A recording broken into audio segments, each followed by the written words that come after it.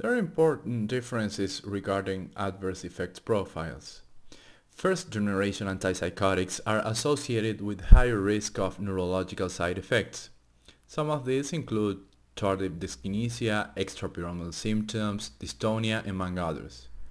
I've included this image depicting basal ganglia to highlight the effects that first-generation antipsychotics have on the nigrostriatal dopamine pathway.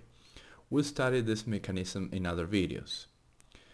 On the other hand, second-generation antipsychotics gained popularity thanks to a lower risk of neurological side effects. But later it was discovered that these drugs are associated with an increased risk of developing metabolic side effects.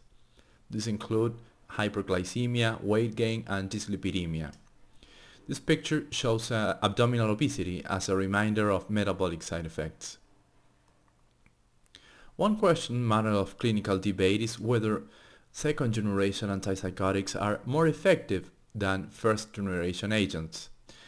There are two important clinical trials that shed some light in this controversy.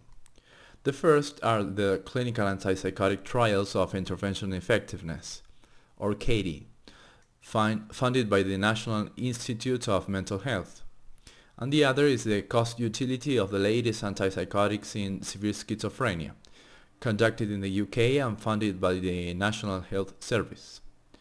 The results from these trials show no evidence of benefit of second-generation antipsychotics over first-generation antipsychotics in the treatment of negative symptoms of schizophrenia.